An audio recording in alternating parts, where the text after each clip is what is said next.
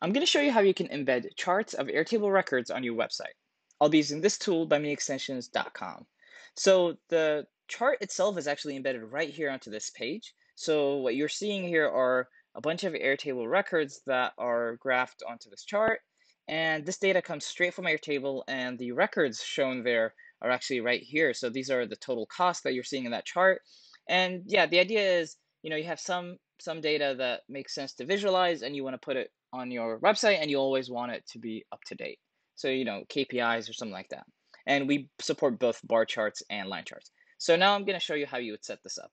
Start by filling in your API key, follow the blue URL to find that, then select your base and select your table. If you only want a subset of your records to show up on the graph, select an Airtable view to filter the other records. Then select the type of chart you'd like. So let's start with a bar chart here, and then select the x-axis, so what field you want to be represented on the x-axis, and then what field you want represented on the y-axis. And then if you'd like to resize it, you can do that as well. So I'm going to go ahead and click Save, and then I'll go ahead and open this share URL. So this is the chart. This data is coming straight from this table. Um, and yeah, so now let me show you what it would look like if we had a line chart instead. So let's update this to a line chart, click Save, and refresh this page.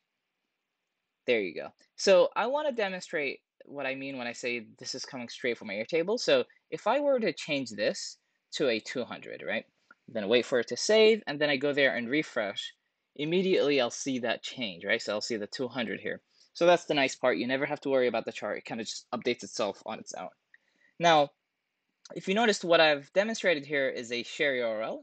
This is if you want to give people a URL so that they can, you know, visit just a unique URL where they can see that chart.